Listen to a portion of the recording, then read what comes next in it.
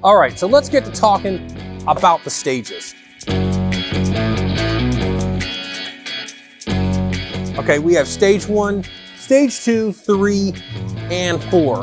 And each one of these kind of builds on each other. So the very base you're gonna have, which is your basic bolt-ons, is your stage one. Intake, exhaust and a tune.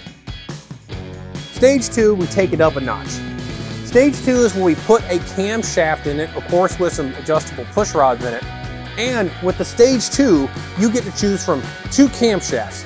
You have one that's primarily focused on torque, so down low, stoplight stoplight, and then you have your horsepower cam, which is more on your freeway, and especially because it's gonna make more power on the mid-range all the way up.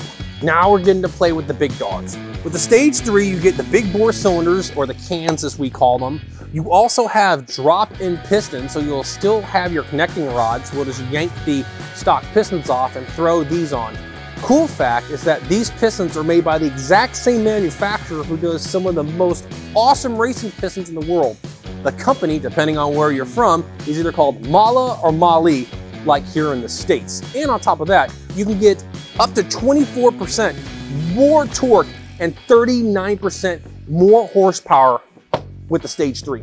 Now the stage four is gonna crank this all the way up to 11. Now obviously if we're gonna have bigger heads, it's gonna be breathing in a lot more CFM, cubic feet per minute, how much air a cylinder head is able to flow.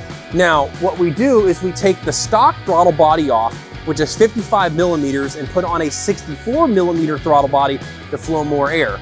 Now that would mean nothing if your intake manifold behind it was small, so this one gets an aluminum intake manifold, which is significantly bigger so it can move more air. You will see on this up to 50% more horsepower. So when you're ready to go from mild to wild, come to Republic Harley Davidson. Talk with some of our guys in the speed shop, and they're gonna be able to steer you in the right direction. Conveniently located on the Southwest Freeway at Kirkwood.